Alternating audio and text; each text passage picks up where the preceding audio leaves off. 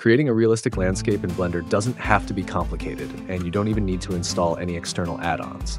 Here's a super simple way to do it using just Photoshop and Blender. First, open Photoshop and create a new square canvas. Any size works, but keeping it square helps later in Blender.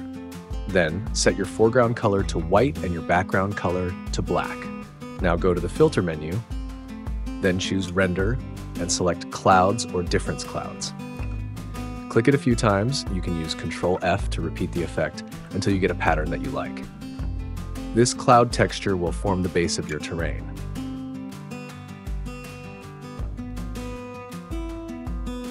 Next, use the Quick Selection tool to highlight areas you want to adjust. For example, I selected the outer edges of the image. To simulate lower elevation around the edges, I filled the selected area with the darkest black, which represents the lowest height in a height map.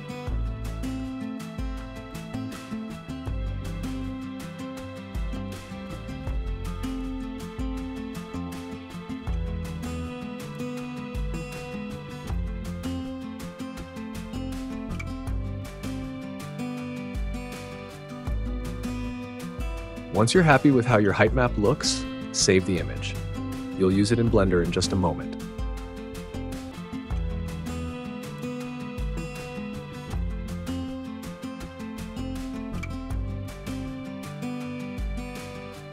Now switch over to Blender and create a new mesh plane.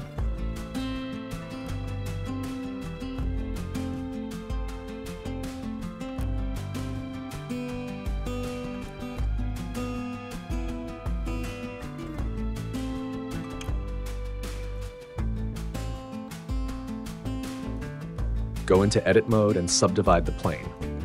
Add about 100 cuts to give it enough geometry for the terrain details.